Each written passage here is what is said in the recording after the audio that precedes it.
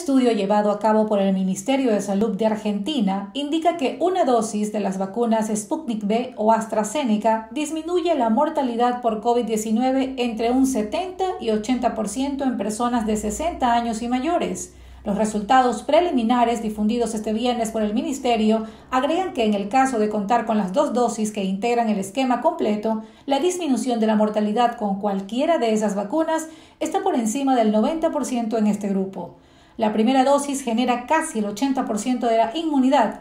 La segunda, en general, eleva esa respuesta y la hace más durable en el tiempo, afirmó la ministra de Salud del país suramericano, Carla Bisotti.